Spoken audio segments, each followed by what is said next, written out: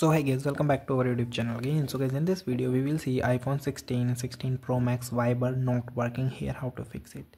So guys if you're having trouble with the viber not working and you there are several troubleshooting steps you can take to troubleshoot this issue. Okay? So guys first of all you update your viber. So guys for updating first of all you go to your app store. In the app store you tap on your profile icon and here if any app if your viber issues in the update list so make it to the update. Okay? Otherwise you check like this. You simply go to search section and here you simply search. Okay? Then tab your app open. If it is here it shows the update so please update it. After updating guys you uh, move to the another step so guys another step is check your internet connection. Make sure your device is connected to the internet either through the wi-fi or the cellular data. So you can test your connection by opening any web browser or another application. So guys make sure that you're having the good internet connection because viber is working on the good and high speed internet connection. So you use any uh, web browser to check the internet is working or not. Okay? After performing this so guys you also check that you restart your application. So guys for restarting you simply open it. Okay. And you then simple close it.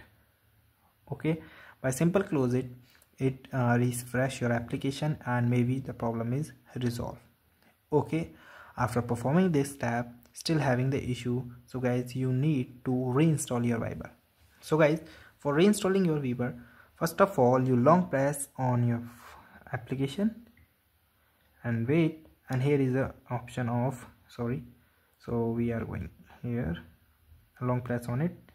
And here is the option of delete app. So you just tab it and here is the option of delete.